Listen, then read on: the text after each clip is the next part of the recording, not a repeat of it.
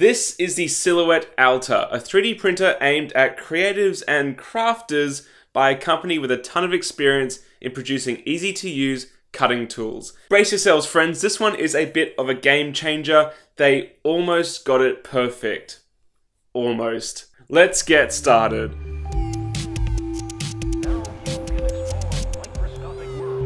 How's it going guys? Angus here from Maker's Muse. Let's kick things off with some info on the company behind this little Delta 3D printer.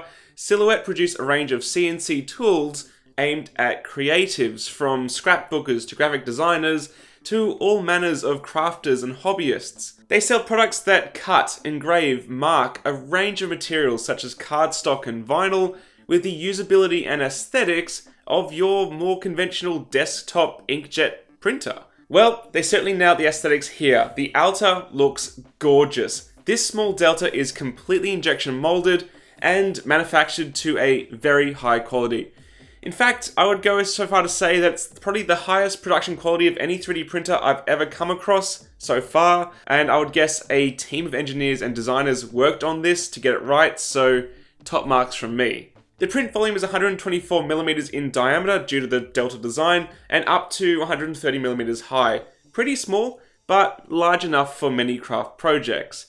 The machine is PLA only, using a custom Bowden extruder and hot end assembly, and no heated bed, just an acrylic plate with painter's tape basically. It's been a while since I've seen painter's tape as a print surface, and yes, it does work, but it's incredibly fragile and easy to rip when you take prints off. And a note here too, the acrylic plate comes bare and you apply the, the painter's tape to it, and because it's laser cut, it actually has a slight angle to the edges due to the laser cutter kerf. So you need to make sure you position it with the larger edge up top, otherwise it kind of wants to pop out of the pins that mount it the, in place. You want to make sure you get it the right way around so it sort of snugs down, not pops up. Other than that, this machine is no frills, no filament out detection, no power loss recovery, and no interface at all, just the power switch. In fact, everything is controlled via a USB connection to the PC using their very own software, Silhouette 3D. The software is honestly stunning. A lot of work has clearly gone into it and it's aimed at people with little to no experience in 3D printing. The loading and unloading sequence is clearly explained, and even though I'm not a big fan of side-mounted filament spools like this, it actually works quite nicely, providing you're using their own spools and not aftermarket 1.75. But look, there's no DRM, which is really nice to see, so you can use any 1.75mm filament as long as it's PLA, but it actually works pretty good. Bed leveling is clearly explained and accomplished by adjusting little limit switch offset screws, but mine was pretty close from factory so I didn't have to tweak that too much. I can't see you ever needing to change this again once it's set up. Anyway, let's chat about the printing experience. As I mentioned, this machine is not aimed at 3D printing enthusiasts as such. There's no modding potential, no tweaks to do, or tons of slicer settings to change. It's designed more as a tool for crafters of all kinds, and to encourage that, Silhouette have a huge online library of models you can purchase and print for all manner of projects. But, and this is really neat, you can also design your own things right here in the software. The 3D modeling interface is reminiscent of Tinkercad in that it's primitive based and you adjust and combine shapes to create more complex results. I threw this keychain together in literally a minute using the text generator, a flat box, and then punching a hole in the part at the top corner and combining it all together. The Boolean operations, that is the actual combining and cutting of shapes, can fail on occasion, but if they do, there's a nice pop-up that recommends grouping so the slicer can still figure out what's meant to be one whole object. This is also required if you're printing multiple objects at once because it forces the slicer to treat them as one and do a single skirt pre-extrude around them versus around each single one, which it won't do because there's such a tiny print volume, it'll complain. So that's also handy to know too. The software appears to be running Cura Slicer Engine under the hood build 3.6, which is nice and fairly recent. The default settings are fine, but if you wish you can go in and change quite a few things such as layer height, perimeters, infill, print temp, and more. There's even gyroid infill, which is pretty cool but it's not really intended to be used and changed by beginners. Instead, there's a nice range of pre-made profiles with descriptive names such as tall and thin, supported, draft, etc. I tried printing these forming tools at 100% density because I wanted strength, and sadly the PLA did warp at this density, which does happen on an unheated bed even in PLA, so I would stick with defaults with the default infill for optimum printing results or if you're just getting started. The printing is pretty quick, partly due to it being a Delta and partly due to the fact that print volume is so tiny, and the quality of the smaller prints was okay, not amazing. The stringing is a little bit of an issue as it's removing support material uh, as required. But they do have a really good online tutorial series that does mention opening the door and letting air in if you do have issues with stringing. I do want to mention this door quickly has a key. That actually could be pretty cool in an area environment with kids, like a school or something where you just want to keep kids or animals out from the hot end and the moving components. However, printing larger objects, well, we'll get to that because you see there's one big fat gotcha with all of this. This 3D printer does not cache the entire print job before starting, and you cannot attach storage media like with pretty much any other 3D printer on the market.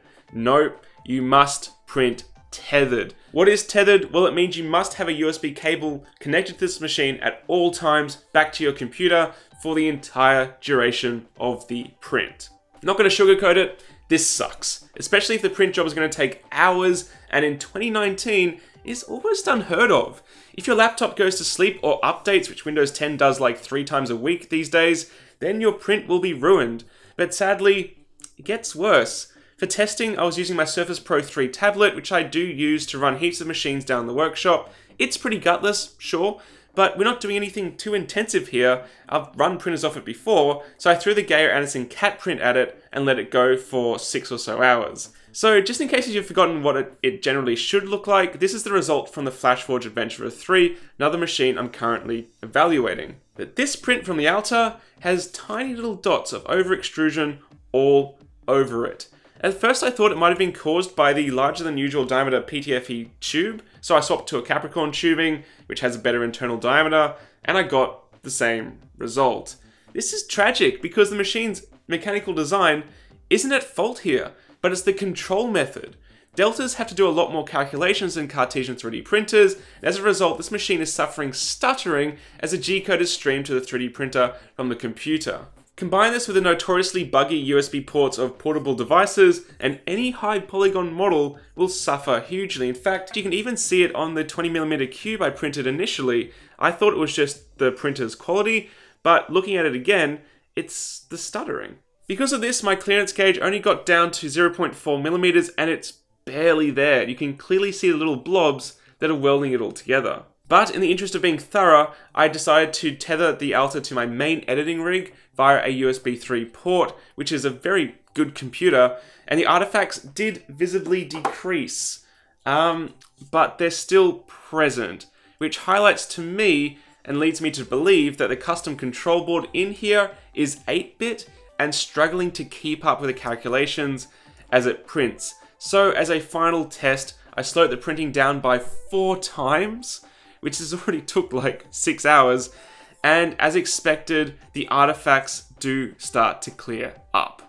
This issue is a huge blow, it really is. It's honestly the only thing I wish was different on this 3D printer. Everything else, especially the $300 US price tag, really does make for a fantastic little tool. Tons of R&D has gone into the design and creation of this 3D printer, and it's really being let down by this very archaic control method which really shouldn't have been considered in the first place.